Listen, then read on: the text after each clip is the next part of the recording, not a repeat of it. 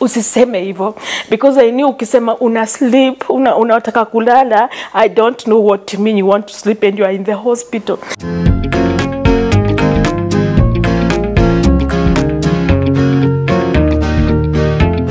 Hello and welcome to yet another episode of Real Life Stories on Citizen Digital. My name is Anya Thira and today I'm seated next to a lady who's going to share how she lost her twins.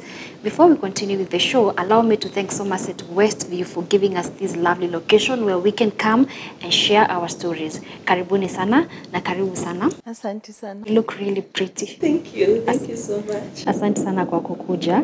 Jani imekuwaje getting to this place? It was not hectic hakukuwa na jam though kidogo tu okay but my driver amejaribu tu kuconnect vizuri and we are here now Kindly tueleze we ni nani, umetoka wapi, mkazi wa wapi, unafanya nini?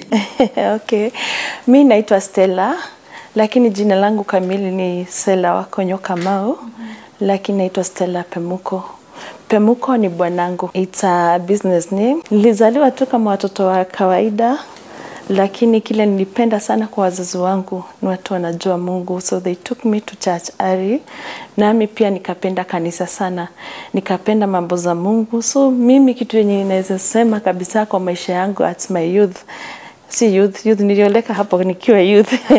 But mahali venye naweza sema nilifurahia sana ni wazazi wangu kunionyesha njia za Mungu na pia kunionyesha kila wakati. If I want to spend time naenda kanisani. So venye venye nili- nilikuwa na huko praise and worship then nilikuwa naona tu mtu anapita then ananiangalia unaona?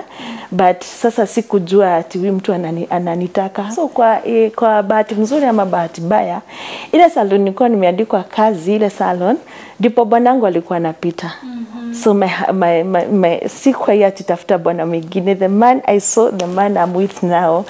Sasa di alikuwa anapita and then akaanza kunichogoza. And because my dad alikuwa mtu mwenye hawezi patikana na mwanaume.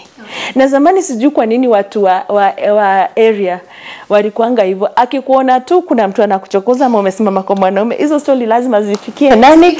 zifike, zifikie mama madada usemekane unaonekana na mtu fulani. So na dad hakuwa anataka hivyo. And because tulikuwa na hiyo eh, kuportray ile sisi ni watu wa church.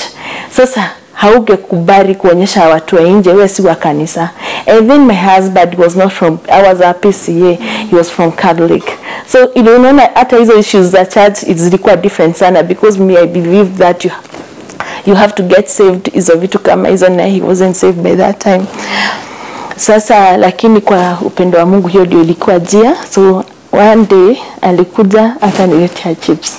The first day we met alienda na akamit dadangu baba- I mean, babangu na mamangu. Na akamwambia intentions zake. Akamwambia mimi msichana wenyu nampenda nampenda sana. But sasa venye alitoka vita niligongwa. Niligongwa vita. Wa nichapa sana. Because you know they, they thought nitatoa mtu church because you know I was a believer, ni mtu mwenye ameokoka, nitatoa mtu church, then nimeleta mtu mwingine, and then wanashagaa huyu mtu anatoa, uh, wanatoana na yeye wapi? So bwanangu hakujali aria. Yeye, wao hawakumjibu vibaya, walimkaribisha wakampea chai and he left na nikachapwa. Sasa venye nilichapwa, I loved him so much. Sababu mimi nimechapwa kichapo yenye hata ni it's, it's innocent. Tumemeet two once. So every day I'll take my Bible. Naomba Mungu I want to see him today. And he used to come every day.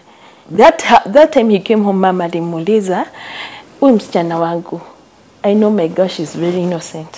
Unataka nini na yeye? Because he's kind of older than me na miaka kidogo. Unataka nini na yeye? Akasema I love her. Akamwambia na sasa hii kama ashike mimba utafanya akamwambia mom do you know that's what I'm looking for? Oh. unaona sasa dad babangu alimpenda zaidi because he was that honest but mam unajua ni mama and she has to take care of her girls and, and tukiwa hizo harakati za mapesi, mapenzi i got pregnant and nikiwa home. Unaona? Yeah. so na nilikuwa mdogo and then kwetu hakuna mtu alikuwa amepata mimba akiwa home. Mlikuwa wa kwanza. Nilikuwa wa kwanza.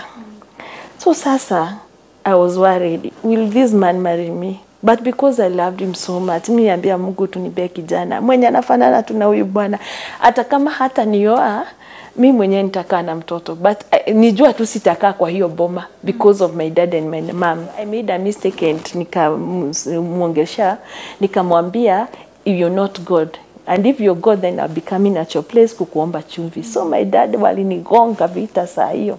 I remembered mpaka nilichomeka hapa kwa mguu sababu nilikuwa nawapikia anti chapo.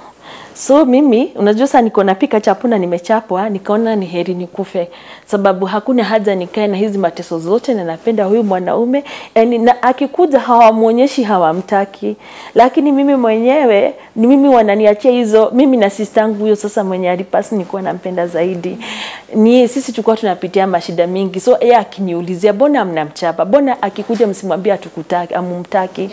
So me I went to a shop and then that time ndio wakati ma, hizi dawa za malaria zilikuwa zina, malaria queen zilikuwa zinauzwa and then nikaenda nikakopa. Then the person who was there in that shop ni msichana kama mi. I think she didn't love me at all. So alinikopeshea 16 malaria queen na mara moja kumi. So nienda nikachota maji alafu kwetu kuna shaba mrefu so kuna venye unaweza teremka huko chini. So mi nikateremka huko chini na nikakunywa hizo madawa zote. And then my brother alikuwa ananipenda ana hata sahii ananipenda alikuwa aliambiwa na babangu aliona nikichota maji so akamwambia because you know huyu msichana anakwanga na kichwa saa zingine akasirika kichwa yake inakuwa gumu sana, hebu mcheki anafanya nini. So alinipata nishakunywa hizo madawa. The first thing he did alikibia, naye alipata mamangu akikamua, akakuja akanishika mdomo na akanipea nini ile maziwa yote yenye tulikuwa tunafanya nini eh, anakamua. Sasa asidio ikabidi nitapike but I was taken to the hospital nikatibiwa and then I came back home. Sasa hapo venye bwanangu alikuja akapata niko mgonjwa, niko kwa kitanda, sasa ndio alinichukua na akanipeleka hosi. So nikaenda Ilan hiko hapa na nikaambiwa I'm pregnant. That's the day he said it's, on, it's now never I have to marry you. So mi nikaenda kwake and we got married. Wazazi walijua umeenda kwake? Hawakujua that day. No, they didn't know. So sasa tulikaa na tulinini, tulikaa tulikaa, and then sister yangu akatumwa akuja nitafute. So sister yangu mkubwa wangu kidogo akakuja na akanipata niko huko na akanipata niko sawa, and then tukaendelea na maisha ya kuona, and then mimi nilikuwa naomba Mungu. Sasa mimi ni, ni, wakati nilipopata mimba nikiwa na miezi ya ta, mwezi, ikiwa miezi tano nikaota nimepata nini, nimepata mtoto mmoja amekatika mguu. Mm. And then mke sasa, what do we say, mke mwenye mmeolewa naye na brothers pia yeye alikuwa na mimba, na pia yeye nikaenda nikamwambia hivyo akaniambia oba, but me I didn't take that thing serious hata kidogo. Yeah. Sikuichukulia ati ni kitu yenyewe inaweza leta kitu kwa maisha yangu. So venye ilifika wakati niku nini nikujifungua, nikaenda hospitali kapata nini eh, watoto wa, siku anajua so venye nilizaa tumbo ilibaki aje, then the nurse was the midwife mwenye alikuwa ananizalisha.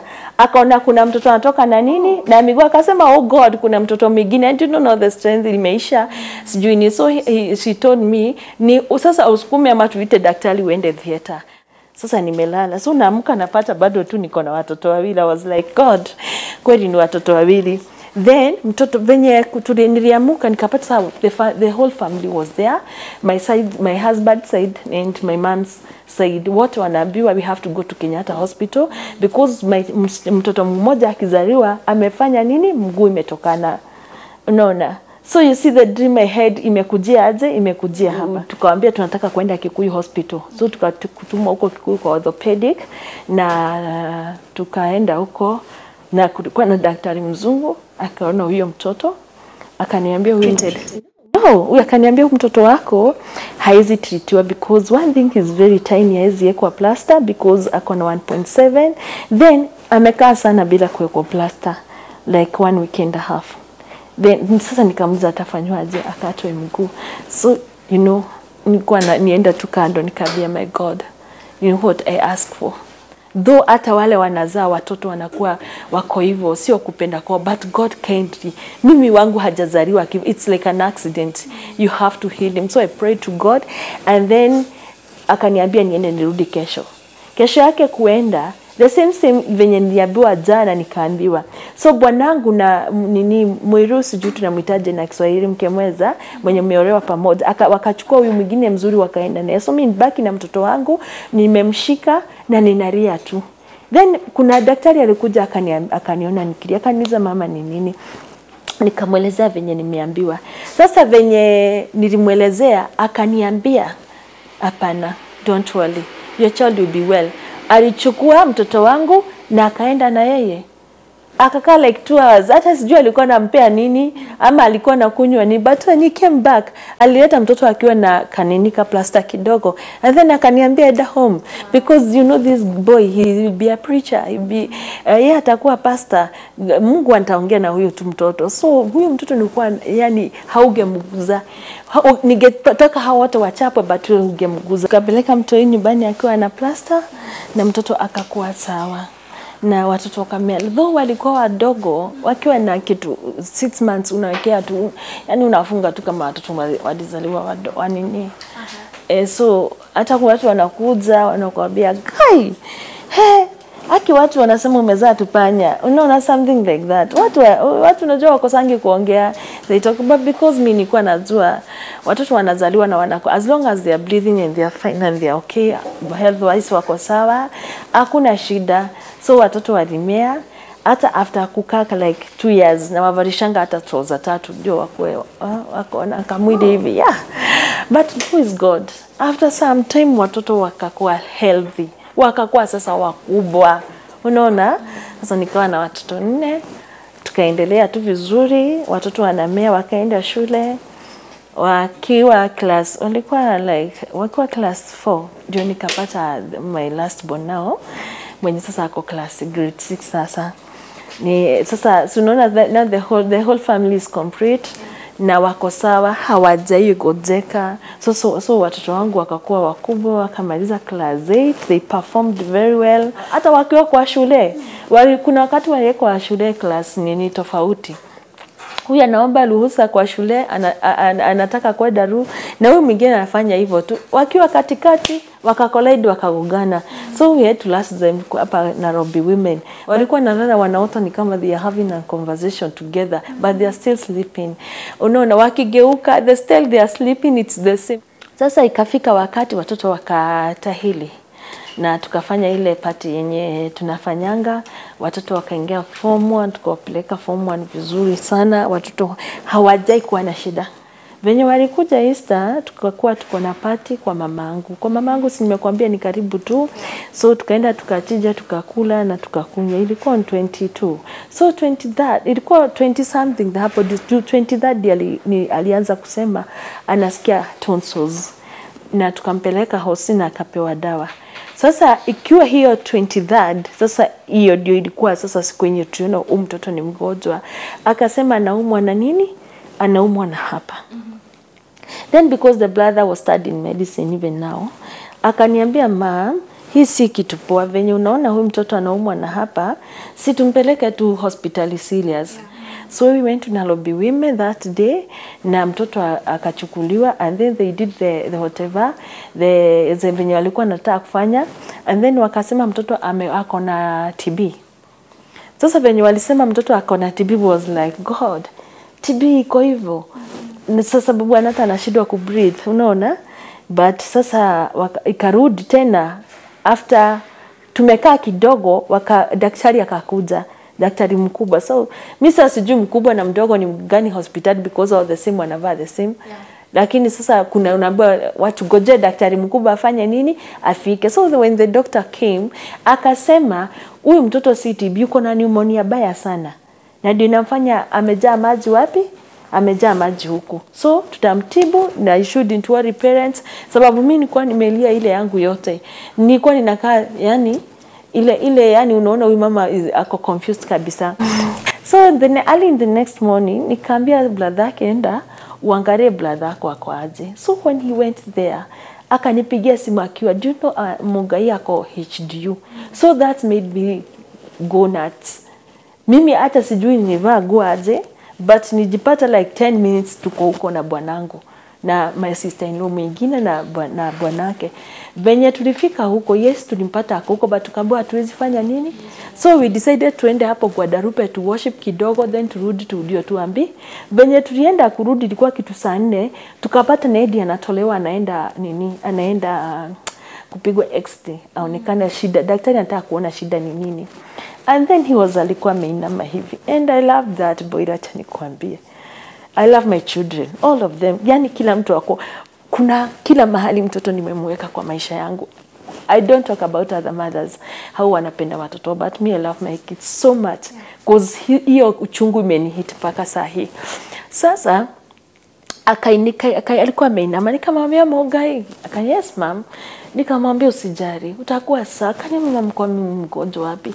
Nikamwambia mimi sijui lakini si kitu ba na nikamwambia si kwa hiyo hosi? Na umeona si wewe tu. Akaniambia mam kitu yenye mi nataka mi sitaki kukaa huku hosi because HDU ya Nairobi Women here Adams imeshikanishwa ICU na, na, na HDU unaona? So kuna watu wenye wako hari mahututi and then you are there so every night if mtu anaenda ama ako hapo ako ama ako venye ako because I think I know you've been there. Venye inakuaga it's hectic. Si kitu yenye unastahili kuona. Yeah, si kitu yenye unastahili kuona kila saa. Sasa mtoto wangu aka nikamwambia I won't be there. Lakini akarudi na akarudishwa aje? Akarudishwa huko tukashida na yeye vizu, uh, tukashida but alikuwa amewekwa hii nini oxygen kale kadogo katu pipes nikamwambia utakuwa sawa the next day pia we came he was there alikuwa kwa pipe tunaambiwa tu tunauliza ni nini baya? Tunaambiwa still anatafutiwa ni nini shida iko wapi? So ni kama hata hawaelewi shida iko iko wapi. Sasa ikafika wakati sasa amesweat na haezi breathe. Na miguu imeanza kuwa mbaridi. Tuko Nairobi women, akaniambia nikaambia daktari what we do?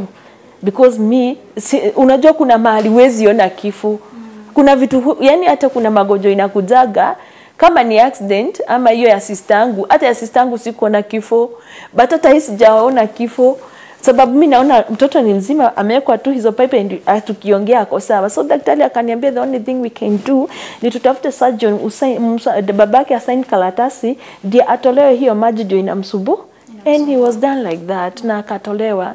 So venye alitolewa he came back to his normal. Na sasa akarudi ward na tukaendelea maisha mzuri na mtoto wetu. Tukuwa tunaenda huko sigode Feel much better. yeah he was better. Akakuwa better na na ametolewa anatolewa. Lakini the problem is hii maji haishi unaona? Kila siku anatoa hizo hizo chupa mbili chupa tatu haishi hiyo iko tu hapo iko hapo. Unaona? But because na pia kulikuwa na mwingine hapa. So hata sisi hatukuwa tunahurumia wetu. Tulikuwa tunaombea huyu mwingine ako ako wako na yeye hapa kwa ward.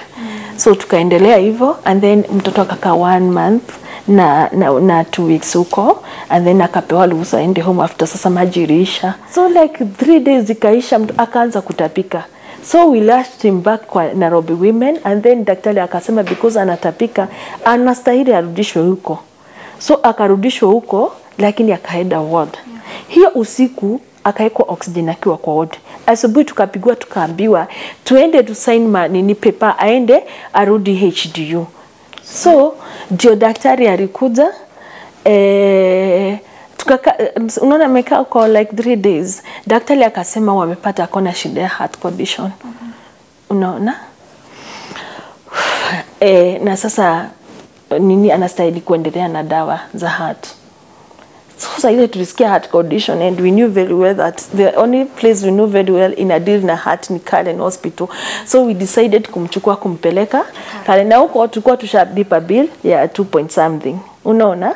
Sasa na mtoto anajua tumelipa because tukilipa si alikuwa anatembea. He was well ndio atoke hospital so he knew everything that was happening. So mtoto venye alisikia he asked me mom what are you doing? Nikamwambia tunataka kuchukua tukupeleke wapi Karen Hospital. Ndio ufanye nini? Uende utibiwe. Sababu daktari amesema uko na shida ya heart. Akaniambia ma dad atatoa hizo pesa zote wapi na kuna watoto wengine wako nyuma. So nikamwambia tutauza kila kitu. He told me no ma'am. Let me be. Hatuuzi hatukui maskini sababu yangu. Mimi sitaki kama Kamau atembeage miguu, sitaki Kosh. Kosh ni brother yake mkubwa, anafanya medicine, nimekuambia. staki Kosh akose kufanya nini, kusoma. So when I heard him say like that, mi sijukaa ni Holy Spirit but mi niliomba, nikaomba mpaka bavu zikashikana. So I fell kwa patient mwingine unaona? Juu nimeomba ni, ni- nimetoa sauti sirudishi ni kama siku anarudisha hewa ndani.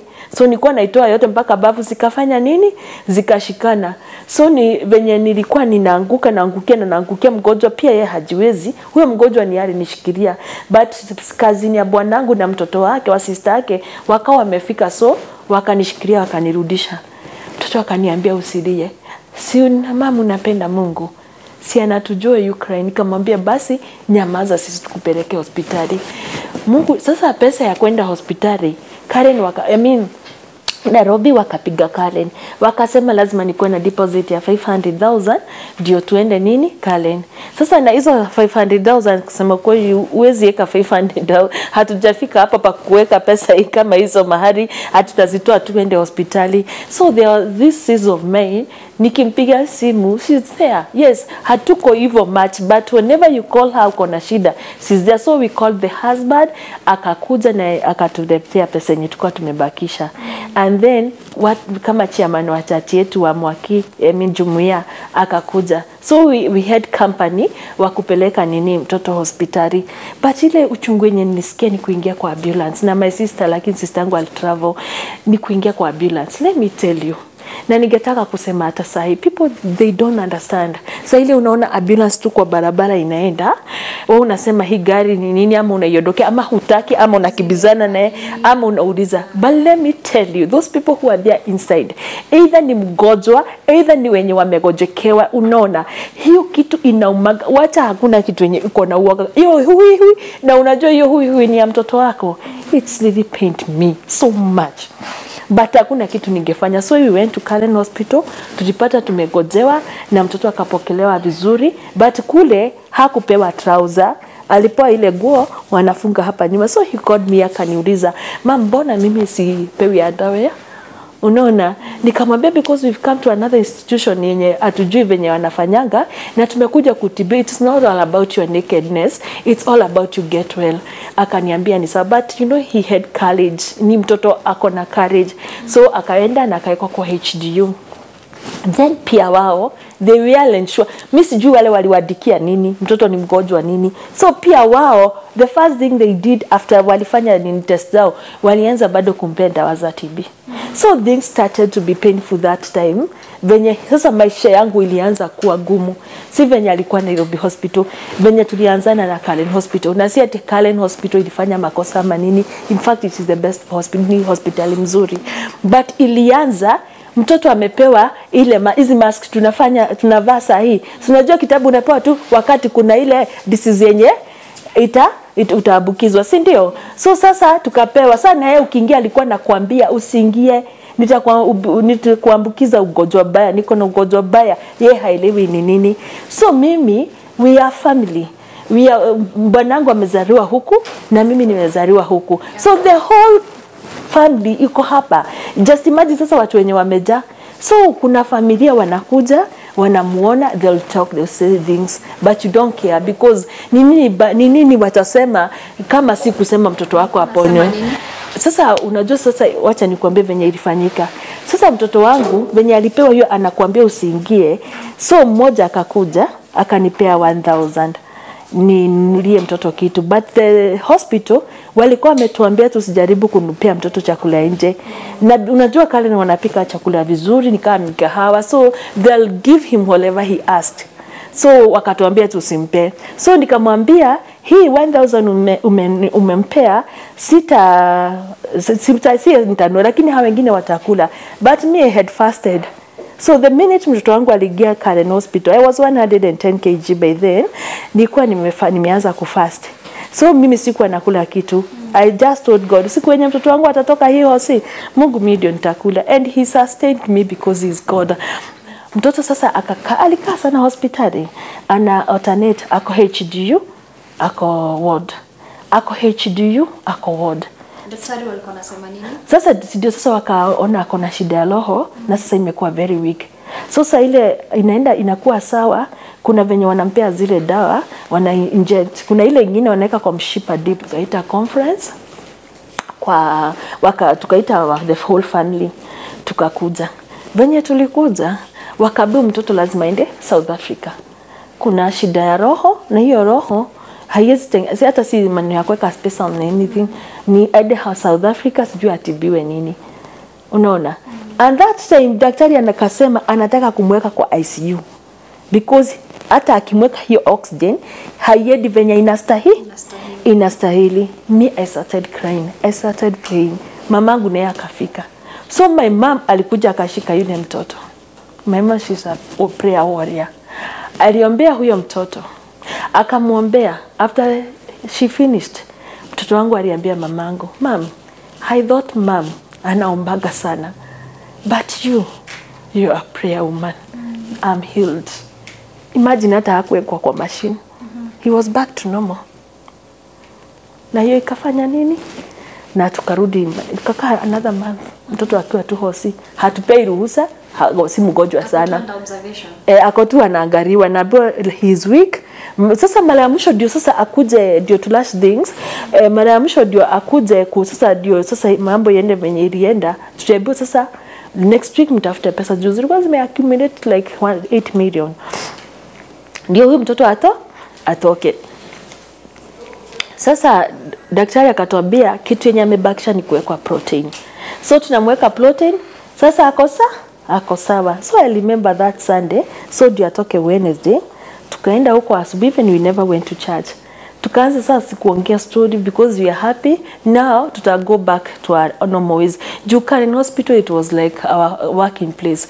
Tulikuwa tunatoka huku home saa moja saa tano tuko mpaka saa tano ya usiku. Every day me and my husband. If they were husband to be called husband my husband kwa watoto wake he's a husband and a half. He's a father and a half. Yani alifanya kazi. Hiyo ndio namsaruti alifanya kazi yenye inastahili kama baba. Because others babas sikupendeka they get tired ama wanachoka ama they afraid.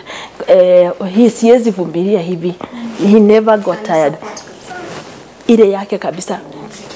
Sasa venye tulienda huko tukaongea akaongeleshea huyo mtoto. Then i had my cousin mwenye anakaa uk alikuwa amekuja like two months before. So alikuwa anakuja kila siku anaombea huyo mtoto. So that time akaniambia i feel like god telling me niambie huyu mtoto atubu dhambi zake. Sababu wacha tu tu- tuseme nikamwambia si that is okay.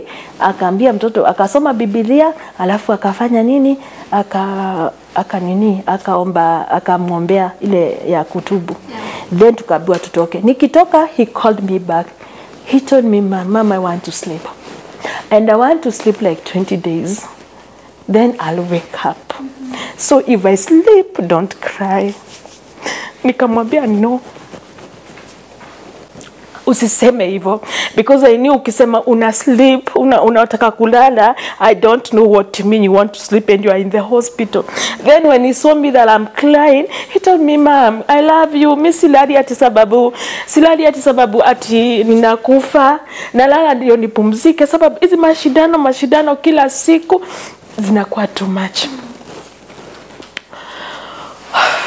Nikamwambia mam nikamwambia ni sawa but he hugged me na akanipea peka akaniambia mama i love you so much. Nikamwambia nakupenda. Your word wewe ni preacher. Yani you know i used to tell them those things because uh, bible yani nasikia hata pastor akisema you have to prophesy for your kids.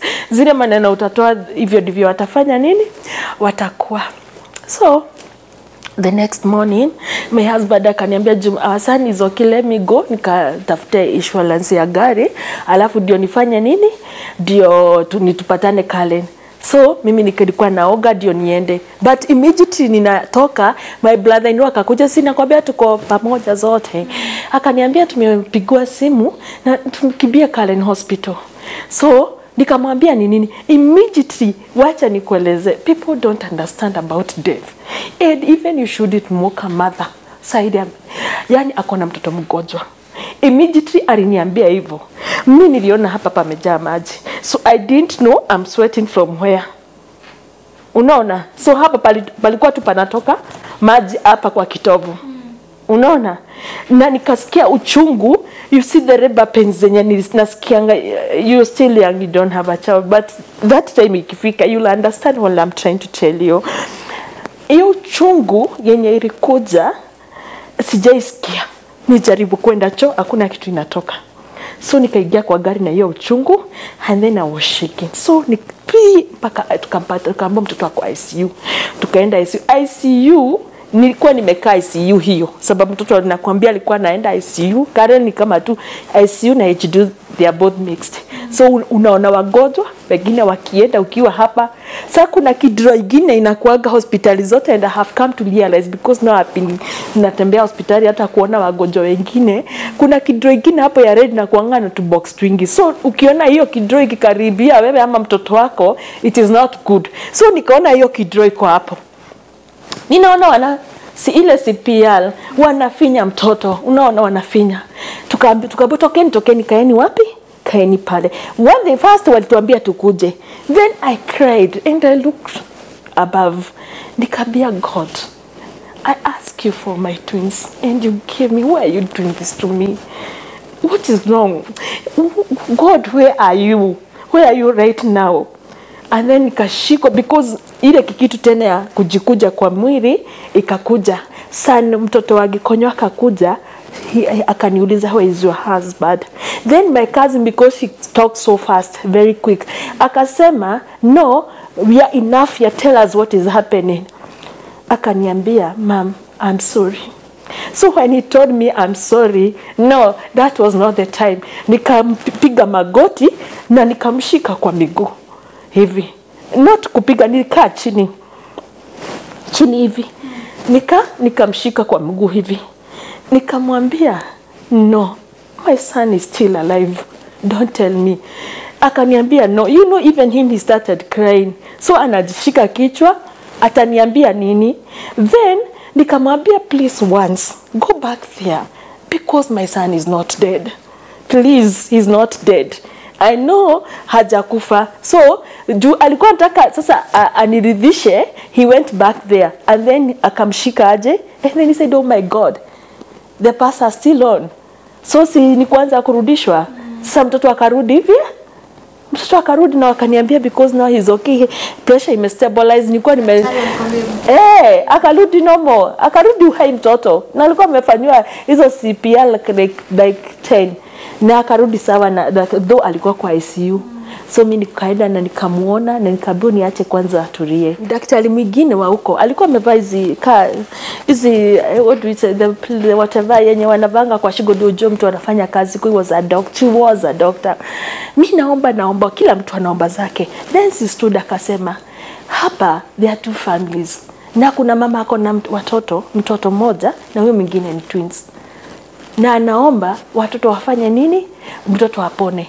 There is a family yenye wanaomba mtoto apone, kuna mwenye hapa anaomba mtoto asipone. So mimi venye nili, niliona hivyo nilijibwaga tu chini and I told them because you are my family and all of you here if I ever wronged someone nisameheni. So we, I cried, nikalia, nikapiga magoti, nikatoa mpaka wig juu haikuwa hata inanisaidia but venye sasa niliomba hakuna mtu ananichibu and then unaona sasa wengine wamechukulia kuomba. Nikifungua wale tu walikuwa kwa hosi. Walitoka na wakafanya nini? Na washatoka na wakaenda. Wale walikuwa huko wakatumana niambiwe nimewakosea. Sababu nimeita watu waombe wa, ni, wamesema ati mimi nimesema wadi wanaua mtoto wa mtoto wangu so mi nikaona hawa ni familia. How could they, could they say, how could they say that? Si nikarudi kwao nikaenda kuambia. Hiyo mimi siwezi sema. Venye huyu mtoto sasa venye sasa tuliongea hivyo sikawa hiyo usiku tulilala bado huko ICU mpaka morning. Sasa hapo morning ndio tulipoteza nini? Tuli, alipot, aliaga. It was painful. Ilikuwa ni kitu yenye kama kama familia especially the twin because he knocked himself on the wall ili alijigoganisha yani alijivujavuja he asked god you brought us together how comes umechukua huyu umeniacha tuchukue zote wawili so one day Tulikuwa tunapeleka mtoto. I just check my son like this. Huyu mtoto sasa the twin mingine, Nikaona anakaa anakaa different. Unaona? So i ask him kuna mahali pana kuuma? Hapana. So nikamwambia we need to go for a check up alifanyiwa echo. The first thing huyo daktari huyo echo anaitwa the imager mwenye anachukuanga hiyo nini akasema do you know that mtoto wako muscles za mtoto wako ziko weak za moyo? So I was like god. So unaona hajui kenye tumepitia. Saa zote tulianza kulia akatutuma Aga Khan tukaona daktari na daktari ndiye mwenyewe alisema huyu mtoto ako na shida ya roho na ako na stress. So akampea dawa ya kufanya nini? Ya kulala. So alikuwa anakunywa dawa 10 anaamka 10 so hata shule Alikuwa na miaka ngapi? 18 alikuwa amechukua mpaka ID. Tulimpeleka counseling mara ya kwanza, alisema he's okay, anajibu the correct thing mpaka huyo counselor aniambia huyo ashakubali, but he never did ye alinyamazia but used to tell me mami Juno I will always be there for you? And the same same thing hiyo ndio huyo mwingine alikuwa ananiambia I'll be there for you. But they are not there. August tumbo ikamlemea. Akikunywa dawa zote anatapika. So daktari akasema it's better huyu mtoto afanye nini? Alazwe hosi ndio atolewe hii gas na pia agaliwe roho venye inafanya nini? In, eh, eh, venye inaendelea. Daktari akamwangalia akamwambia okay you okay to go back to school. Hata hizo dawa za kula achana nazo. And you come here after three months. Ukiwa hapa kaniambia mimi nahisi njaa. So venye aliniambia nahisi njaa nikamwambia ni sawa tutafute mahali tukule ama tununue chipo ugwaro. Akaniambia ni sawa. Sasa kuna mtu alikuwa anavuta sigara. Sasa babake akamuuliza tuko ndani tunaenda home? Yeye amefungua akiona ameangalia nje aje hivi. Akamuuliza Kamau kwani hiyo sigara imenukaje nikawa mtu anavutia ndani? Alimwambia dad ni huyo mtu amevuta, amevuta sigara na ni, amevuta yote pafu yote akapafu nusu alafu amenipulizia yote kwa uso. Hadi dad nimehisi kizunguzungu. so mimi nikaangalia nyuma nikamuliza, nikaona mtoto ako? Nikamwambia dad ni, nikanyaga break. Saa mimi nikatoka nikafungua mlango. Nikamwambia kamau nikamshika hivi na nguvu kamau akanita he akaita he hivyo tu. So straight mpaka Nairobi hospital. Tukafika hapo tukachukuliwa mtoto. Tukaenda amewekwa kwa mashine akawekwa mashine akafanana mugai venye tu alikuwa kwa mashine the last day. Mimi nililia mtoto wangu aliomba. I have a prayer man kadogo kaliomba alikuwa na tukonsol kama kijana baba mkubwa mimi na babake. Daktari hikimdia akatuambia alikuwa amepatwa na heart attack but ako sawa amerudi amestabilize tulipe ICU 600000 na pesa hatukua.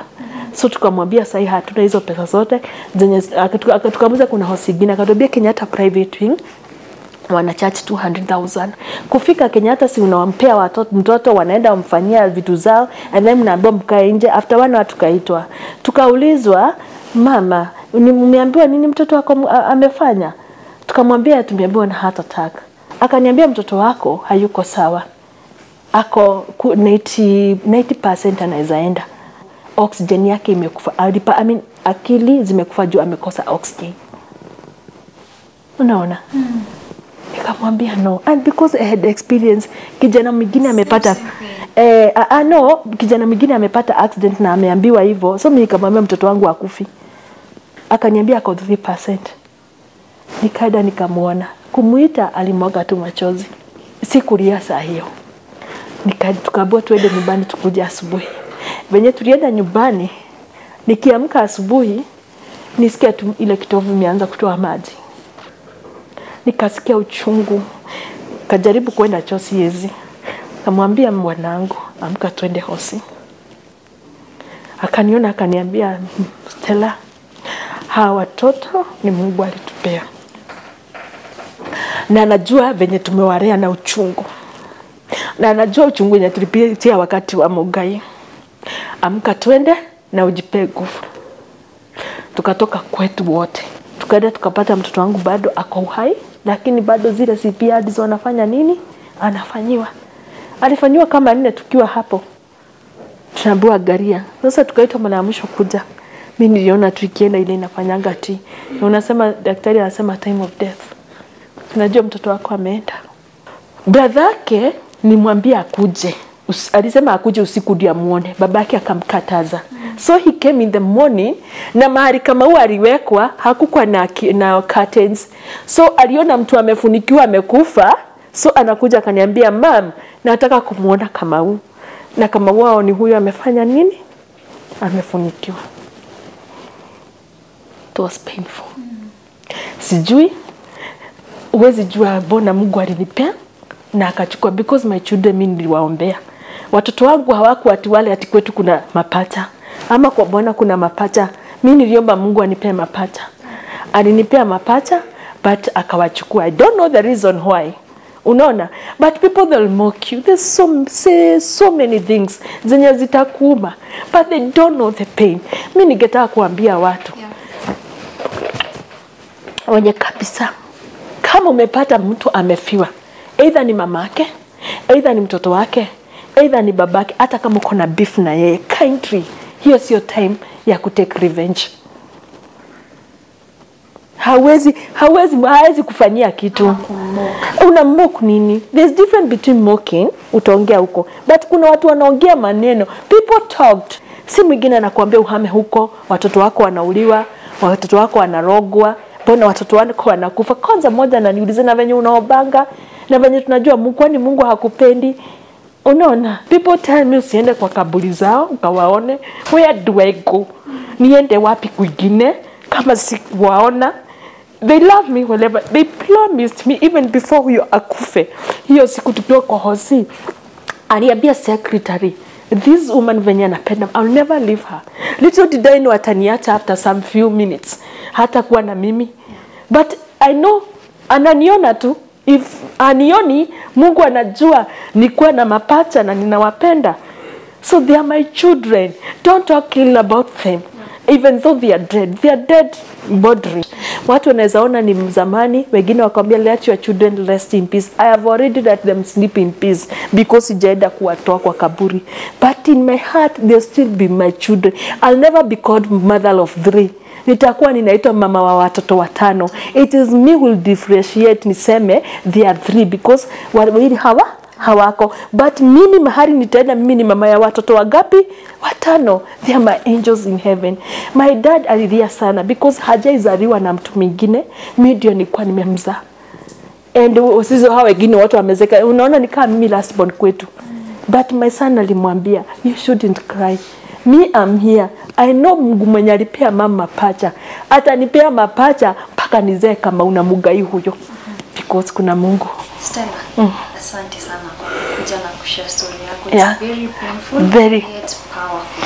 Unajua mtu akisikiza hii episode ata learn something from it. You know grieving is not easy. It is not easy. na baby venye umesema it's not easy. Marrying a baby hata akiwa 18 akiwa 30 hata akiwa eh, good eh, So for that, hata najua taka ulipoteza watoto walitoka hii dunia kama wamependwa na walikuwa wanajua wamependwa. Yeah. and that's what's important. So thank you so much. Asante sana tutazidi kuongea. Mm. na tukimalizia mtu akitaka kukupata is it okay? Would you mind giving a number? No, no, watu wengi wamenitafuta. Some even from tiktok family wamekuja home kuniona. Kuna wamama wameintroduce kwa wamama wenye wamepoteza watoto wao. E, mimi sina shida. I'm there to talk to someone kuongea na wao kuonyesha ya kwamba mungu anatenda. I'm here nimepoteza but I'm still surviving. And it does, eh, yani ukipoteza hata kama haukuwa na mwingine haisemi ati ni mwisho wako wa kuishi. Mungu amekupangia jambo lingine. Juu kila kitu. Kuna one thing najua, either mtoto wako atagongwa na gari, either atachomeka, aidha atakufa venye kama wangu alikufa. Hakuna mtu ako na nguvu za kushika moyo wa mtoto wako auwe. It's only God who give permission for that to happen. So one thing whenever you are, just control yourself na uambie Mungu wewe ndio ulinipea. So ninaomba wale wamama wote wamepitia shida, familia zenye wamepoteza watoto wao, watoto wenye wamepoteza hata wazazi, juu hata hao wanapitia maisha gumu sana. One thing mjue kuna Mungu, na pia serikali ichukue, ipate nafasi tu ya, ku, ya kushika ya kufanya kukuwe na inaitwaje institution fulani yenye watu wakifiwa wanaenda hapo like mothers, unaacha kukaa ni kama unaona uko peke yako. Unajua mtu akifiwa naonaga hawa wengine kwa ili yako ni wewe, but ukishafanya venye nilifanya TikTok, niona si peke yangu, there are so many people. Kama serikali geshika hawa mama, wa mama mikono, yani waweze hata wao kujua ya ama wawafunze, kukuwe na watu wanawaongeleshea because even paying counselors wakuja waongeleshea, it's lazima ukuwe na pesa, si ni ukweli? So ni vizuri sana hata society ichukulie hawa watu wanapoteza watu wao, wawachukue kama watu wanapendwa, waongereshe vizuri, wawasikize, give them your ear to listen because for her it, it is today, you don't know about tomorrow. Leo ni mimi, kesho ni we, lakini hatuombi watu wakufe. Tunaomba watu waishi na wamama wale watoto wao, na watoto wazike wazazi wao wakiwa wazee, si wakiwa wadogo. Sasa ni namba yangu ni 0717 417 100. Haya, asante sana. Nimeshukuru. Asante yako. Really, really appreciate. And you're, you're a strong woman. Yeah. And I know a lot of people will get to learn a lot from you. sindio? Yeah. To you, our Citizen Digital family, thank you so much for joining today's episode. Till next time, let's keep it Citizen Digital.